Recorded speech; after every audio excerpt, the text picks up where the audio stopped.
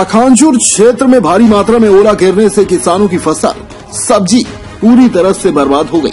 आज आम आदमी पार्टी ने संतराम सलाम प्रदेश उपाध्यक्ष, यूथ के नेतृत्व में जिला कलेक्टर के नाम ज्ञापन सौंपकर तत्काल आकलन कर किसानों को उचित मुआवजा देने की मांग की है फ़सल क्षति पर दिल्ली सरकार की तर्ज पर प्रदेश सरकार किसानों को प्रति हेक्टेयर पचास हज़ार मुआवजे की मांग की गई है साथ साथ पारालकोट क्षेत्र में हुए भीषण ओलावृष्टि से हुए किसानों एवं आम जनता के नुकसान को जानने एवं किसानों की समस्याओं को जानने हेतु आम आदमी पार्टी के प्रतिनिधि मंडल पारालकोट क्षेत्र का दौरा किया गया, जहाँ आप पार्टी द्वारा किसानों से मिलकर उनकी समस्याओं को जाना गया।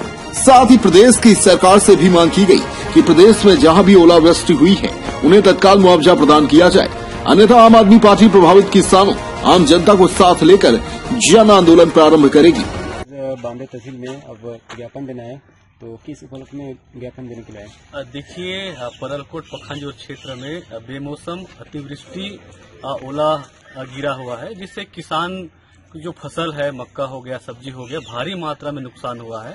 आम आदमी पार्टी आज नायब तहसीलदार बांदे कार्यालय पहुंचकर शासन प्रशासन से हम मांग करती है कि तत्काल मुआवजा प्रकरण तैयार कर किसानों को राहत प्रदान करने की पहल हो।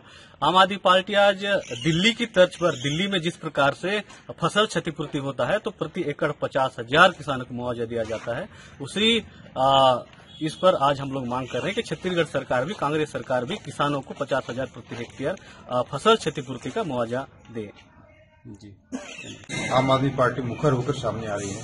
हम देखें आज बरड़कोट क्षेत्र में बड़ी मात्रा में ओलावृष्टि हुई है।